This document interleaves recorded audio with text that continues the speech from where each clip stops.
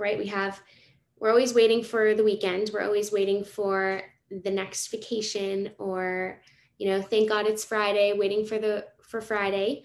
Um, and Mondays have a bad rap because you're just getting into it.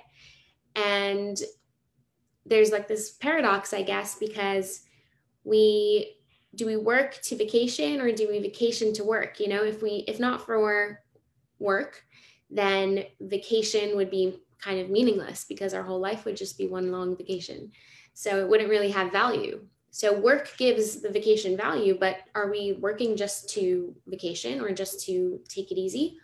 Um, so this lesson is going to um, explore the religious and the Torah perspective on work um, and how we can make that something meaningful and purposeful in our life. So I was thinking to share a video um, let me see if I can share my screen and if this will be a simple, yeah, perfect. So I was thinking to share this video because I thought it was really um, impactful.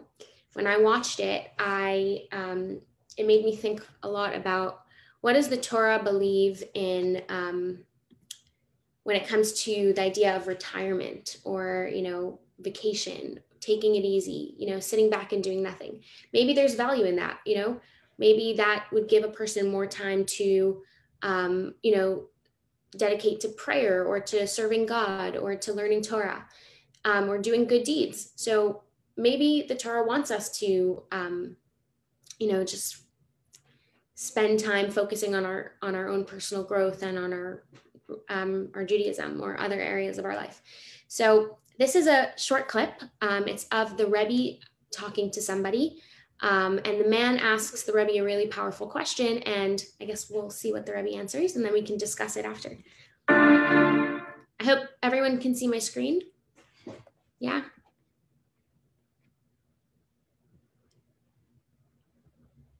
Jane, I guess Jane, do you see my screen? I see. I see the flyer. I see the show flyer oh. with you your mail. Oh, whoops. No worries. Okay, if you want to send it to me to share, I'm happy to. I think I'll, let me try one more time. You see, does everyone see yep. it? Yep. Perfect. Okay. This is brother Benjamin. When does one decide if one has enough? What? We sold out our business. Yeah. We have an offer now that they want, if we want to sell it back to us, if we want. I'm trying to understand, when does one feel he has enough for him and his family? If you have experience in business, it, you must use it. If it is better to use it in the same business or only the new business, it depends on the conditions on the market and it depends on the character of the person. Someone is more happy to continue in the same vein. Someone is more happy and more successful when he is trying to to open a new trail. You have to continue doing what you know best. Yeah, but you are more happy. I'm not saying that you know, that it depends on the character someone is more happy when he is trying to try to make a new trade. And when you have enough or you feel there's enough for you and you have reached your goal? That is not possible for the Jew because he has an endless lesson. Okay. And, and, okay. Stop it from God Almighty. So I guess we can talk about this a little bit. I thought it was really powerful because um, you know, you, what you would expect from a rebbe or from a religious leader is perhaps, you know, someone's asking a question about business. Should I go back into business?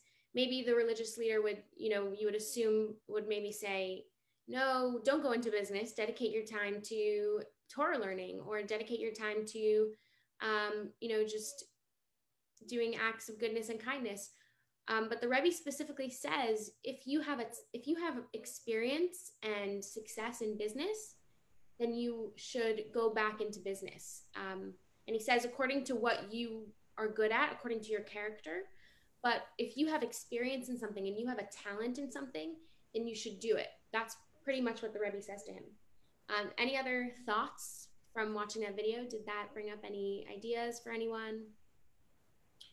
Because um, this is going to segue into the idea, you know, what is the Jewish perspective on work and business and being involved in the work in the workforce? So, any did that video bring up any comments for anyone? Any ideas to share?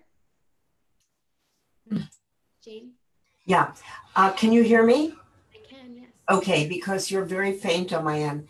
Um, I think all that is well and good, but in life, you don't want to keep doing the same thing uh, because you grow by experimenting and going out in the world, and failure is part of growth. And I feel if somebody has been that successful, yes, keep their business, keep what they're doing well. But again, to have a percentage to go out and say, let's try this, let's do this. Now that I have learned this and I'm so good at it, I want to use it further and fan out. Yeah, that's a great point. And I think what the Rebbe tells the man is not necessarily do you have to go back into the business that you were in before, right? He says, he says you don't necessarily have to right. go back in old business, but if you have a skill, then you should put it to use, basically. Um, that's what I took from the video. That you know you can try different business ventures. You could try something new um, according to what interests you. But if you have a talent, if you have a skill, then you should be putting it to use. You shouldn't be letting it sit dormant. That's a good point. So, you know, we're going to understand on a deeper level why the Rebbe had this perspective. Um, but just to start off, there's a quote from the book of Iyov, the book of Job, where it says that man was born to toil, meaning that not only were we given this ability to toil, to work hard, but we were actually born to toil, which means that it's almost like our purpose of existence. Like part of our reason for being in this world is to toil, to work hard. And another example of this in the Torah is every Shabbat we say the Kiddush, right? We say um, the blessing over the wine before we eat. And the text of the Kiddush, it says, Six days you shall work, and on the seventh day you shall rest. And this is the verse from the Torah that describes to us the Shabbat, that on for six days, Monday to Friday, we work, and on the seventh day, Saturday, we rest. And it's interesting that the pasuk, the verse specifically says, six days you shall work. It doesn't just say, you know, six days, do whatever you want. and then on the seventh day, you're commanded to keep Shabbat. Because really, we think that the Torah is mainly commanding us to keep Shabbat. So it doesn't really matter what we do on the six days, or does it? but really, if the Torah is just telling us to keep Shabbat, then it doesn't really need to command us to work. It doesn't have to say six days you shall work. But that's exactly what the Torah says. Um, it says that we shall work for six days, and then on the seventh day we should rest. And so, what this is telling us is that part of the command to rest on Shabbat is really to work the first six days. Because if we think about it, the purpose of Shabbat, I think we spoke about this um, in a past lesson, that the purpose of Shabbat is to recalibrate ourselves and get ready for the upcoming week. And so, everything that we're going to be doing in the upcoming week is like you know reflected on over the 24 hours of Shabbat, where we have time to uh, reflect and um, time of introspection and connection with our family and with God. And so part of that is working over the first six days of the week, because if you're not being productive during the other six days of the week, then what's Shabbat for, you know?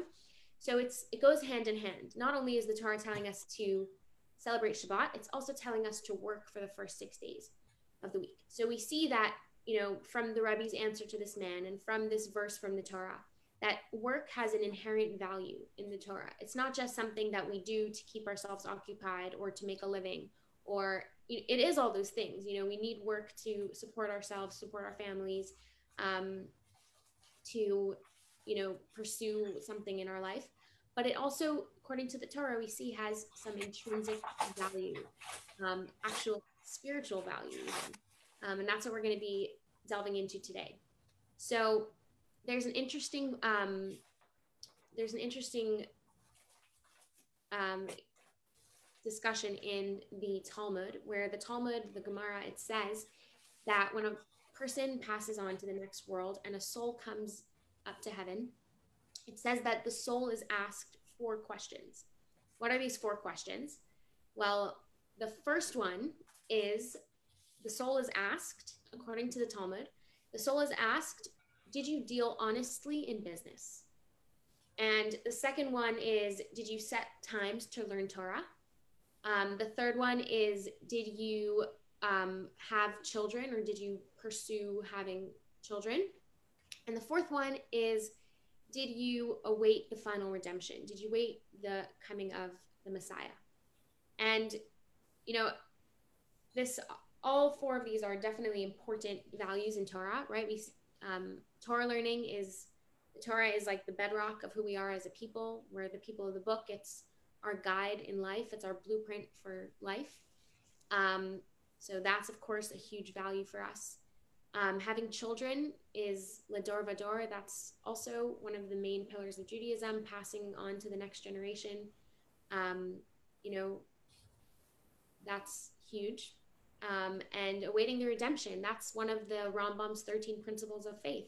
That part of our, one of our principles of faith as Jews is that we believe in the coming of the Messiah. We believe in a time where the world is going to be filled with peace and godliness, and it's going to be a place where we can see goodness in a revealed way. That's something that, you know, we believe in.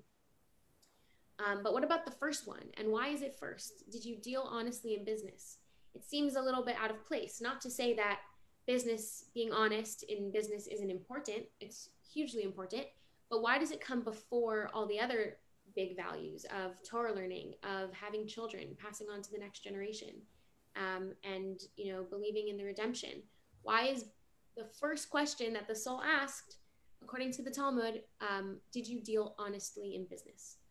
Um, so we're going to explore this answer, but just some food for thought. Um, does anyone have any ideas that come to mind? It's okay if not. But Jane. Um, I, I believe it's because one of the reasons is because it takes business, if you go to business, it takes up a very big portion of your day, your life, and your energy. And I think everything points um, in, in your soul on how you conduct yourself as a person uh, to other people and with other people. Uh, so not only does it take up eight hours and more of your day, but that's very important because it's how you spend your life and how you direct it uh, to working with people around you and to be honest with what you do. If you're honest. If you're not honest, then you're wasting a lot of energy and you're going to go to jail. That's a really great point, Jane, that, you know, business takes up such, or work in general takes up so many, just time wise, it takes up right. time yeah, that's a great point for sure. Um, thanks, Jane, for sharing. I love hearing you. um, so yeah, that's exactly we're going to touch on that. That's a really great point. But as we know, you know, in work there are other problems that can arise. People deal with, you know, some of the problems that come up with work are, of course, this the idea of integrity that it's a place where our integrity and our honesty is tested um, both in dealing with other people, dealing with money. Um, it's just a place where you know we have to step up to the plate and be honest people with you know live our lives with integrity, and it's really a, a time and a place where our our values are put to test, our integrity is put to test, especially for someone in business. I would assume, I would imagine. Um, but another big problem that I guess a lot of people face is the idea of priorities, right? Sometimes work becomes the number one priority just because it's so urgent. A lot of times, work can be um, urgent but not important, right? So there are things in life that are important but not urgent. So that would be like spending time with family, spending time with friends. Those things are important, but they're not always urgent. Um, work is something that's usually very urgent. And so it always, not always, but if, if we lose track of our priorities, it can easily become um, something that takes precedence over everything else. Um, and so a lot of people have this struggle with, you know, prioritizing what comes first, my family or my work, or, you know, my self care or my work. Um, so that's another struggle that a lot of people face when it comes to work. Where do you draw the line? At one point is, you know, something else more important, or at one point do you need to step away and um, focus on other areas of importance in your life? Um, and of course, another idea is when it, w- with success, a lot of times can come arrogance. If somebody is making a lot of money or is very successful in their work, um, that can lead somebody to arrogance. And so we see the f- flip side, I guess, of this idea of business or work is that you know there are some dangers as well that we have to be cautious of um, like you know maintaining our priorities maintaining our integrity and um, maintaining humility so there's definitely both sides um, but i think just to touch on what you were saying before jane that the, a basic belief in Judaism is that God runs the world, right? And every single detail of our lives is dictated by God. And even though it may feel like, you know, I don't see God or I don't feel him in every detail, in reality, we believe that every single every single detail of the world, every single detail of our lives is being um, dictated by God. And so um, there's this concept that God determines how much money a person is going to make and how successful a person is going to be.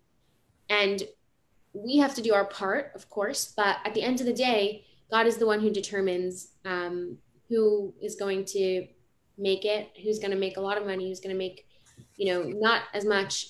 It's all really determined by God.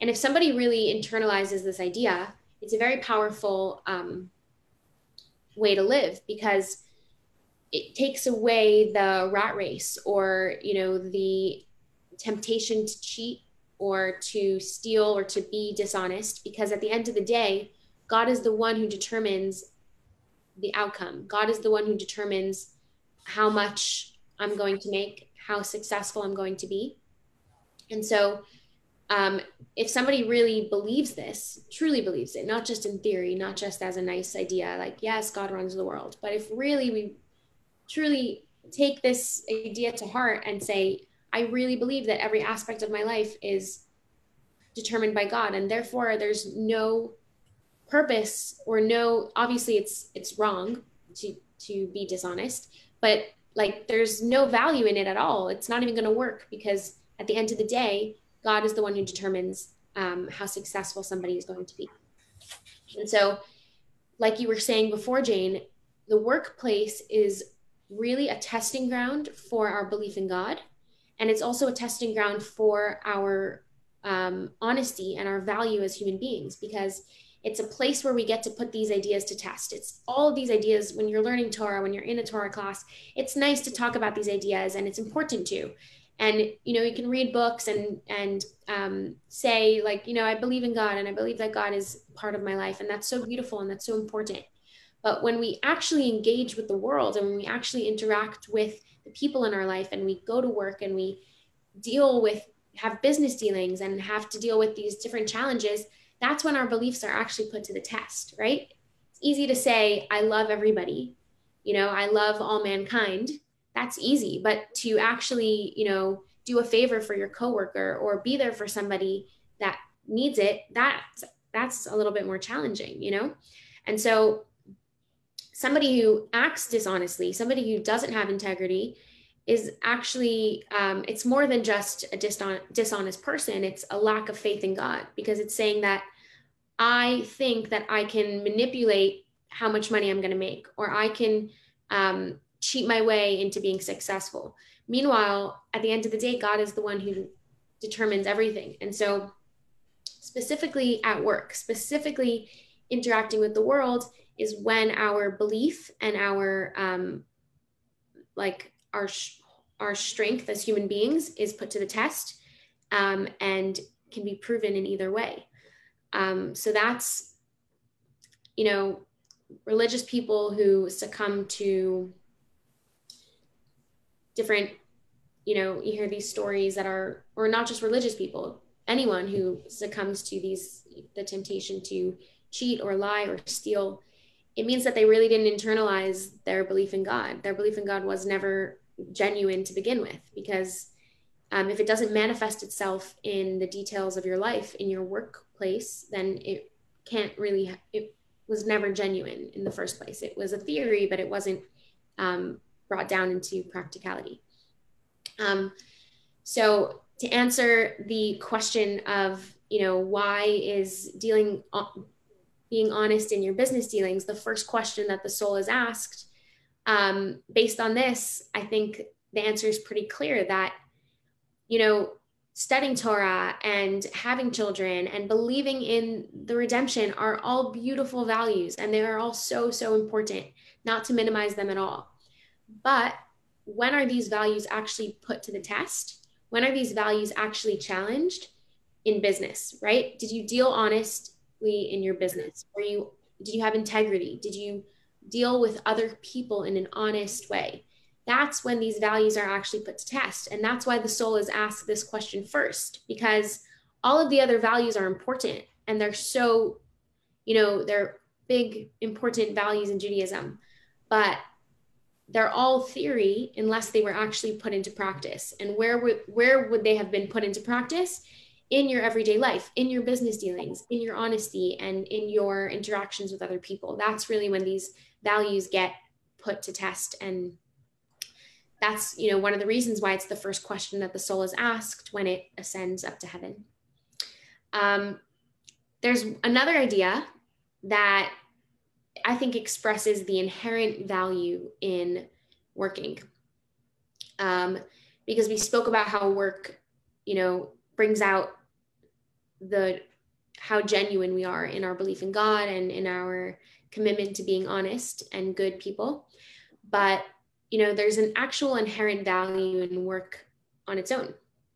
Um, and this idea is that human beings were created with the almost the need to produce, right? The Talmud says that a person would rather one measure of their own than nine measures of their fellows. What does this mean? That when something is produced by us, when we create something with our own talents, with our own skills, with our own abilities, it actually brings out a different, um, you know, like a different pride and joy and it's like an expression of ourselves. Somebody who's into art i'm sure can relate to this idea that when you create a masterpiece even if you know somebody else created something you know more exquisite or more expensive whatever it is it doesn't make a difference because your work of art has a different meaning to you. It really holds such a deep personal part of yourself and therefore it is the most valuable thing that you have, maybe something that you created on your own is so much more valuable than something that someone else gave to you or provided you. And this is, you know, the idea in Hasidut that God created an imperfect world, right? God gave us the raw materials. He gave us, um, you know, the the wheat, and we have to create the bread. And God didn't create the world perfect. He didn't create both physically and both spiritually actually. In a, in a physical sense like god literally gave us raw material and he left it up to mankind to develop the world and to use our innovation and our our minds to develop the universe. Um, and also in a spiritual sense right? God didn't create us as perfect human beings. He didn't create us as these angels that always do the right thing. He created us imperfect and the reason for this, both physically and spiritually, is that he wanted us to achieve things with our own efforts, with our own abilities and our own talents. And this applies both physically and spiritually. Like I said, you know, God gave mankind the opportunity to be inventors, to be creators, to be um, innovators. And if god had created the world already perfect you know we wouldn't have that opportunity to give to each other to give to others to use our minds to come up with um, new ideas and new possibilities.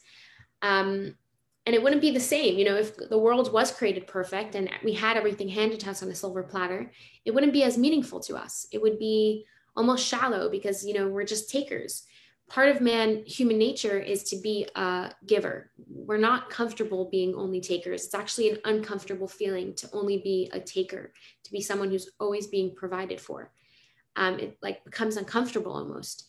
A person naturally wants to be a giver and wants to, um, you know, you want to have something that you can provide for others. It's like a natural um, desire that we have. And so God knows this and He gave us that opportunity. He said, I'm going to create an imperfect world where you have endless opportunities to um, create new things. Um, and that's why, you know, when we invest ourselves, when we create something new, we invest ourselves in it and it like takes on a whole new life because it it's so meaningful to us. It's so important because we created it. Cheryl, do you have something to add? I guess I guess that's why grandparents are always wanting to be giving to their grandchildren all the time and you mm. know when we're having any kind of festive meal or we're going someplace you know i i kind of feel like if if i bake something or i make you know cook something that you know i'm really giving from my heart and i really think that's you know that enters into it as well you know the ability to to be to be giving. And tzedakah you know whether you give one dollar or you give one million dollars you know it, you're giving you're giving. Yeah. And i think that's so important to be have the ability to give whatever it might be whether it be money or physical that's so beautiful, Cheryl. Thanks for sharing. And it's so true. I'm happy you brought that up because we actually discussed this in a previous class when we did talk about tzedakah. We said one of the reasons why God created some people poor and some people rich, right? We discussed how we said, why did God not create us all equal? Why didn't God give each person exactly what they need? Um, and that solves the problem. Why do we need to have different classes? Why do we need to have people that are needy and other people that have way more than they need. And God created this imbalance on purpose. We said, because He wants us to be givers, He wants us to be able to pursue kindness. And if everyone had what they needed given to them, um, there would be no possibility for that kindness, the idea of kindness would not exist. Because if I have nothing to give to you and you have nothing to give to me, then we don't need each other, right? God created a world where we need one another. We need um, to use our abilities to create new things and to give to one another. That's a beautiful point. Thank you, Cheryl, for bringing that up because it really ties into that lesson that we spoke about where we spoke about tzedakah. Exactly. Um, and so, one of the reasons that the Lubavitcher Rebbe explained something so beautiful that one of the reasons why God created the world this way or created human nature this way, that we need to be productive, we need to be producers, we need to be innovators, um, is because God created man in the image of God. We are created in God's image, and therefore we strive to be, you know, godly beings. And we know that the ultimate creator is God, right? God created the world, and God is the ultimate giver. So God is both the ultimate creator because he put, brought everything into existence, and God is also the ultimate giver because all the blessings and all the things that we have in our life are provided by God. And so the reason why we have this deep essential need to be givers and to be creators is because we are created in the image of God. Because God is a creator and God is a giver, we as human beings who are created in his image um, have this natural desire to be godly and to be I mean, I don't know if I could say similar to God, but yeah, we want to mimic God in any way that we possibly can, even in our limited human way. Um, and so when we do create new things and when we do take our ta- our God-given talents and our abilities and we use it um, to make a difference in this world and to bring, you know, bring everything that we have to the table and provide for others, um, that kind of makes us a partner in creation with God because God created this imperfect world and he leaves it up to us to perfect it in any way that we can. And so um, this is really the idea of not just why God created us, created an imperfect world, but why God created us this way. Why did God create human nature in a way that we need to we have this desire to give to others and we're not complacent just living a selfish life right animals can go their entire lifetime you know, searching for food and searching for shelter and just fulfilling their own needs and the needs of, you know, like their animalistic needs. And that's fine. That's how animals were created. They don't strive for anything higher. But man was created in a way that living life just pursuing your own needs is not enough for us. It's not, it wouldn't be, we wouldn't be content with that. We wouldn't be complacent. Um, it would actually be like a meaningless existence if we lived that way. And we have this natural need and desire to give back and to give to others and to create new things.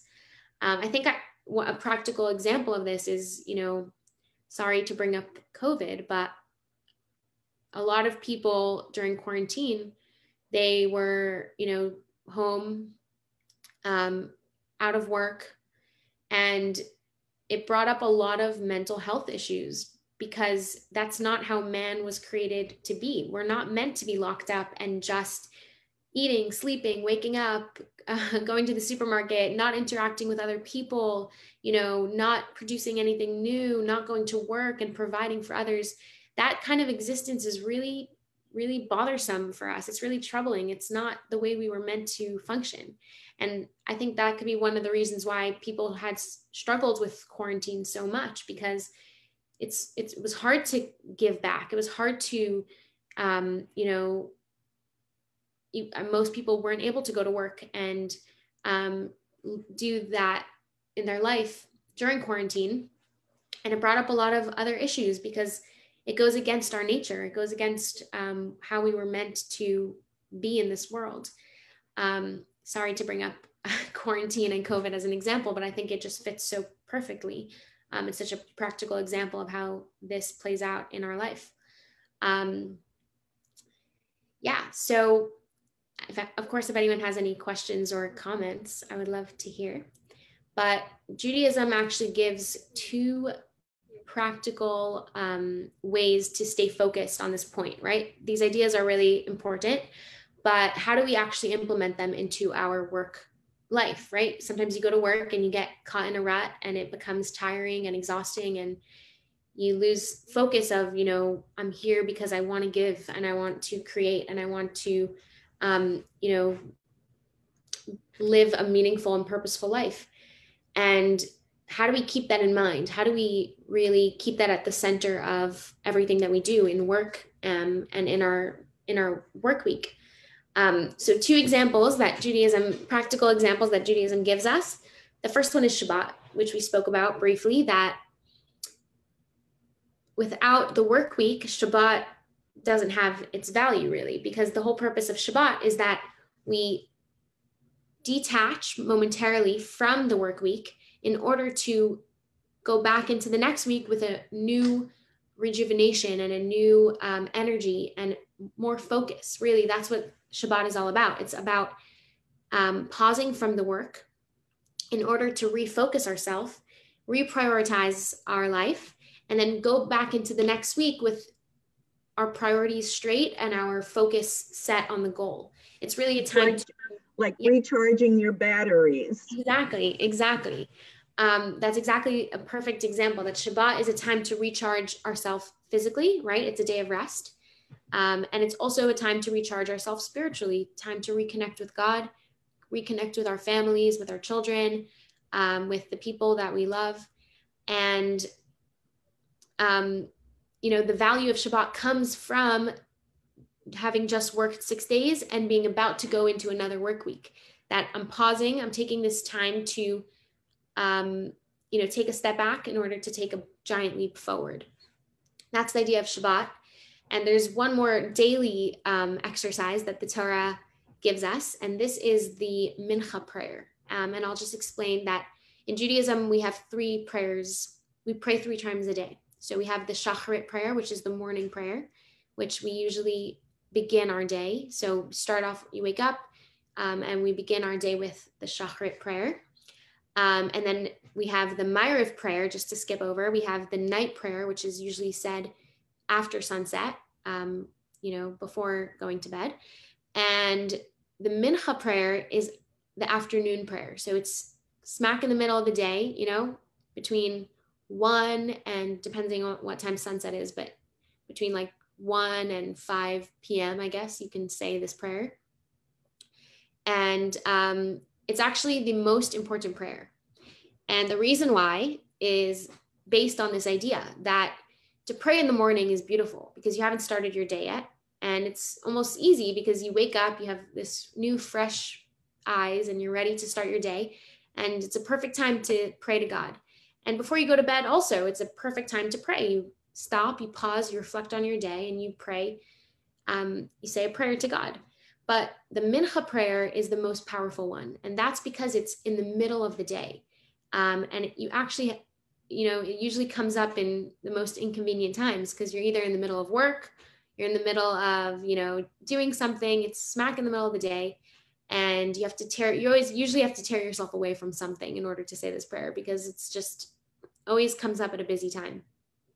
And it's a short prayer, but it's also really powerful because of the timing, because it's afternoon at a time when people are still at work, when a time a time when people are still busy with daily affairs, and to pull yourself away from that and take a moment to pause and thank God and refocus yourself um, actually makes this prayer the most impactful because you're refocusing yourself in the middle of your day, taking that moment to refocus what is my goal here? What is my purpose? Um, to express gratitude to God um, and to, you know, have that moment of mindfulness in the middle of the day um, is more impactful than the other two prayers. So those are just two of Judaism's, you know, practical commandments that help us implement this idea of um, working with purpose, um, working with from a place of I have something to give to the world, I have something to give to others, um, and my true value, not my true value, my true um, integrity and my true inner strength is expressed in working, in being involved in the world, in you know interacting with other people. That's when our true um, nature is really expressed. Um, so I think that this spiritual perspective on work, which, like Jane said before, it takes up so much of our life. It really it occupies so much of our time, and to understand the Jewish perspective on it is really important because it does take up so much of our life, and it is a meaningful act. It really is, like we just explained. It's something that brings us closer to God. It brings us closer to our purpose it's something that we almost need inherently to give back and to create new things um, and to feel like we have a purpose and you know we can make a difference in this world because we can.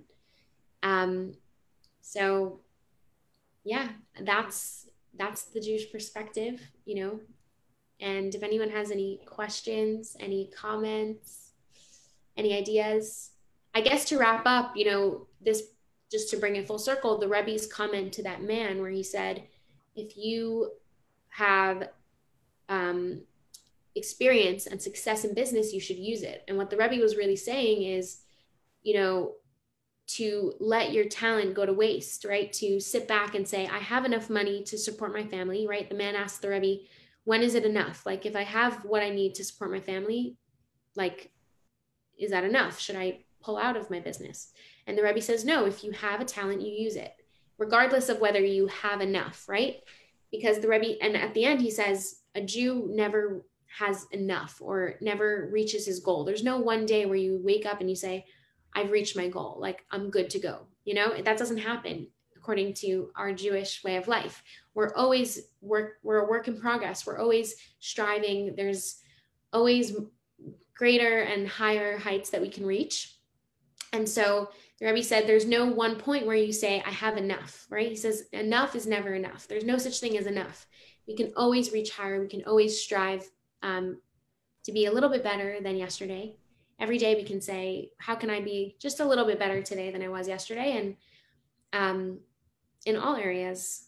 So, yeah, like the idea of like that spiritually, we should always we should always feel that we don't have enough, but physically and materialistically we should be content and say we have enough right yeah exactly. i think it's in our i think it's in i think it's in our dna to always be striving for for more and to trying to reach greater heights Yeah. uh, all the time. You know, uh, it, we wake up and it, it, our, our life hasn't ended. So I think that's the only day of pure, pure rest is when we're, when we're no longer. And we'll always keep on working and striving, you know, to reach higher, higher goals. That was Right, right, right. But we, but, but like you said, human nature is to always want more, but we need to make that distinction between, you know, spiritually and materialistically. You know, we should be content and happy with what we have materialistically and physically, but we should kind of hone in on that natural tendency to want more and to kind of direct those natural tendencies to uh, spirituality and which is like mitzvot and connection to Hashem, as opposed to wanting more of the physical world, which thank God we're, we're all blessed with um, much. yeah. That was really beautifully said, both Cheryl Thank you. I don't know who was speaking, but my mother. It was my mother. It's it's Deanie with a cold. Sorry. Oh, okay. I couldn't recognize your voice. Oh. I know. I sound like yeah, I know. no, I didn't. I didn't know who. I, I couldn't even match the voice to the person. I know. My apologies. No, not at all.